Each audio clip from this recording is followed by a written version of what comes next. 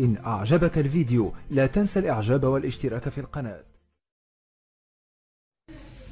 السلام عليكم ورحمة الله وبركاته.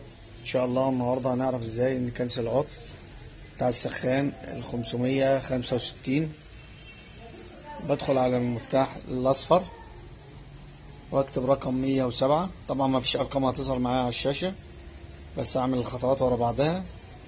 واضغط على الأحمر ضغطة طويلة الشاشة معايا هتتغير. اختار copy SP اكتب خمسة تمنمية وعشرة.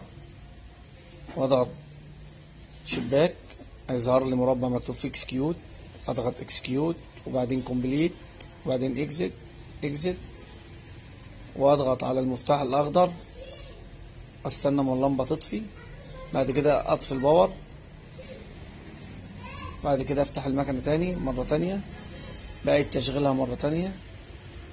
وإن شاء الله تنحل المشكلة معايا. لو إن شاء الله لو المشكلة رجعت مرة تانية بعد كنسلت العطل بعمل حسابي إن أنا أتصل على مهندس أو فني على أساس إن في مشكلة لسه ما خلصتش في المكنة بحيث إن هو يحلها لي.